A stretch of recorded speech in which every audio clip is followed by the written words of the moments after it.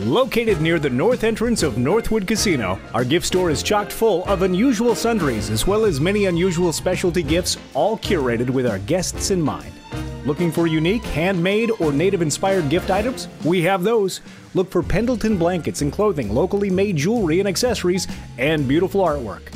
Looking for something for the grandkids? We've got games, puzzles, and more, all in stock, ready to wrap for that last minute get together. If you're interested in something for grown ups, check out our selection of fine wines, top shelf liquors, and premium cigars.